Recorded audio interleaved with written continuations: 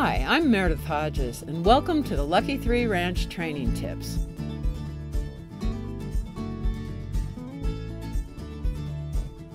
Ground driving in the round pen before going into an open arena is to teach your equine the elements of ground driving in a controlled environment.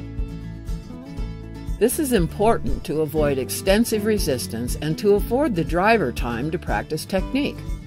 Always be sure to undo the buckle at the end of the lines if they are excessively long to avoid getting entangled or dragged in the lines.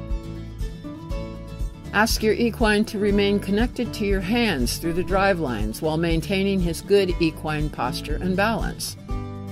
Now you should learn to carry the whip and only use it gently if needed. The hourglass pattern will keep you and your equine organized. It will help him pay attention to his good posture throughout the lessons.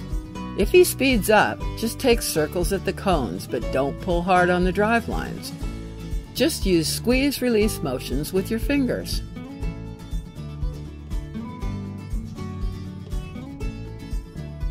When we used the hourglass pattern for leading training, we stopped midway between the corner cones and the gate cones.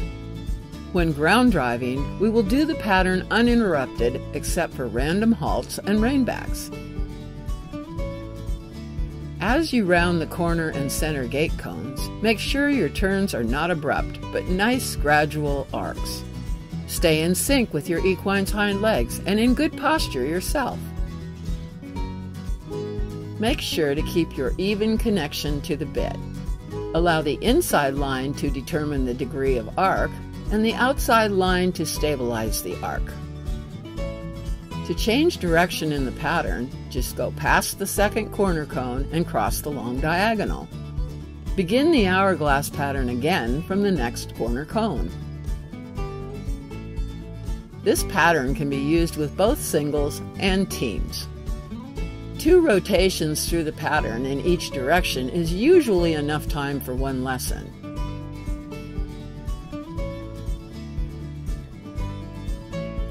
If any mistakes are made, just get back into the pattern as effortlessly as you are able.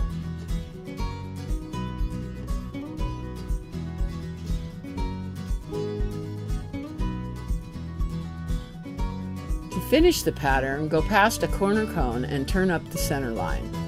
Stop between the two gate cones and then randomly along the center line to avoid anticipation of the halt.